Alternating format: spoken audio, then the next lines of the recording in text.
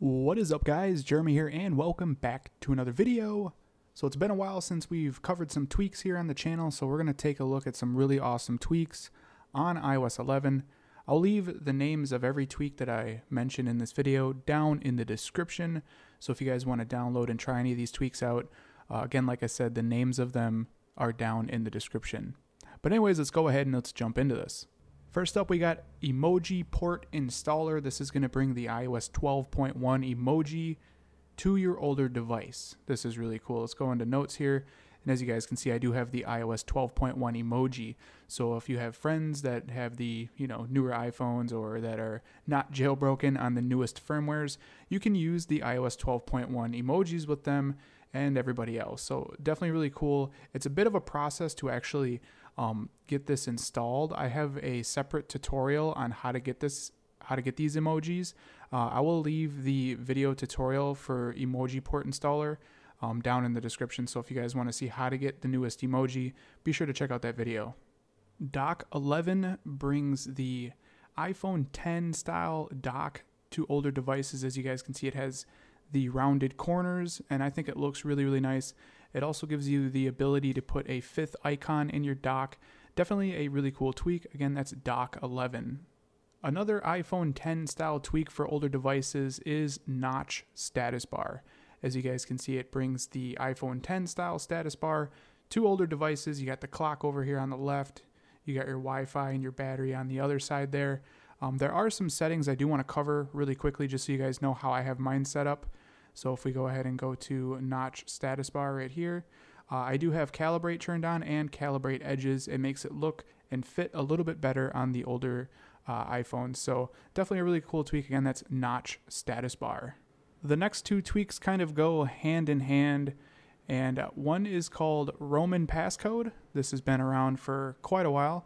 So if we bring up our passcode, as you guys can see, instead of having numbers, we have the Roman numerals, which I think looks really, really good. And again, this is a tweak that's been around for a long time. And the other tweak that we're using is called Clean Passcode 11, uh, which removes a couple of buttons and just makes it overall look a lot more clean. So again, those two tweaks kind of just go hand in hand, and I think they look really good together. Again, the first one is Roman Passcode, and the other is Clean Passcode 11.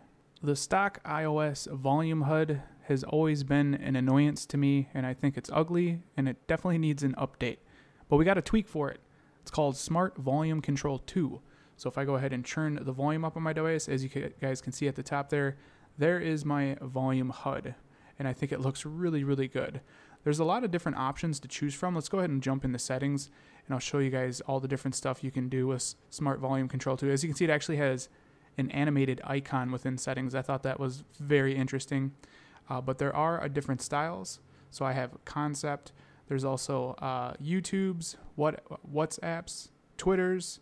Then you have Concept 2, iOS 11 player, and iOS 11 slider. So these are all a little bit different. If you like the volume HUD that's in YouTube, you can actually have that on your device, which is really cool.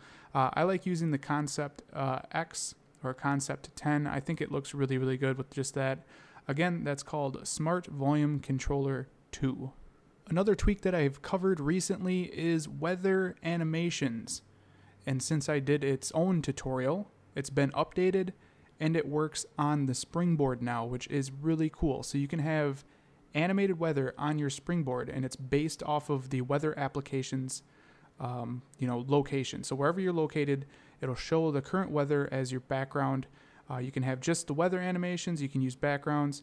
Uh, of course, with this tweak, you can have these weather animations um, on your lock screen as well. I know it's kind of probably you know kind of hard to tell. It's just cloudy where I am right now, so there's a bit of clouds towards the top there.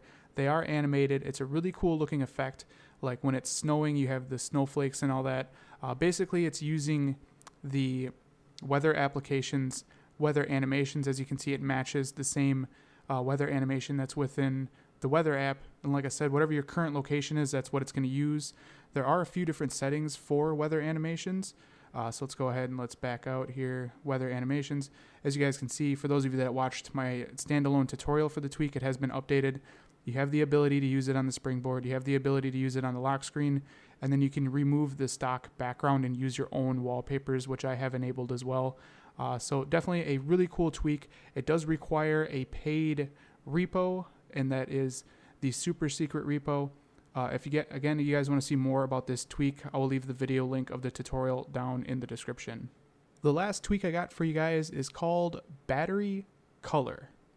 This is a really cool tweak. Basically, what it does is on your battery icon, as the battery dies, it goes from the normal vibrant green and it gradients through the colors to red. So as you guys can see, I have kind of uh, about 50% battery on my device right now, and it's kind of a really light green, kind of yellow color. Uh, like I said, it goes through a gradient, so it starts out green, then it turns kind of, you know, uh, yellowish green, and then it turns into yellow, and then that transitions into orange, and then once you're down to about 20%, it'll transition into red. So it slowly gradients as your battery dies. It's a really cool look. Um, I wish Apple would actually do that with iOS. I think it looks really, really nice. Uh, very cool tweak. Again, that's called battery color. So there you go, guys. Those are some awesome tweaks that I am currently using on my device on iOS 11. Again, all the information of everything you guys are going to need is down in the description, along with other tutorials. If you guys want to try out other tweaks that were mentioned in this video, be sure to check out those tutorials on how to use them. Uh, but anyways, I hope you guys enjoyed this video. If you did, definitely throw me a thumbs up. That helps me out a lot here at the channel. And if you guys want to see more videos like this in the future, don't forget to click that subscribe button. This has been Jeremy, and I will catch you guys in the next one. Later.